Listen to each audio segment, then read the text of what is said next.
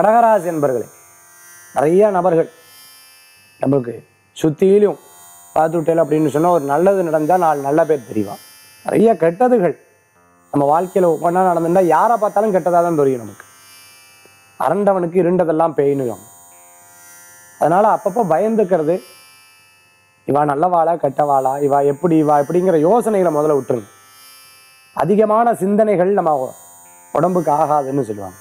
எதிர்காலத்தில் உத்தியோக விஷயங்களில் பயம் வேண்டாம். உத்தியோகத்தில் நிச்சயம் நன்மைகள் ஏற்படும். அப்படியே விட்டுவிட்டாலும் ஒரு இடத்த விட்டு இன்னொரு இடம் கிடைக்கிறதுக்குண்டான வாய்ப்புகள் கூடி வரும். உடல் ஆரோக்கியத்தில் கவனம் தேவை இன்றைய தினத்துக்குண்டான அதிர்ஷ்டமான எண் ஒன்பது. தினம் நீளம் வழிபாட்டுக்குண்டான தெய்வம். விநாயகப் பெருமான் வழிபாடு கடகராசி என்பவர்களுக்குண்டான இன்றைய தின வழிபாடு.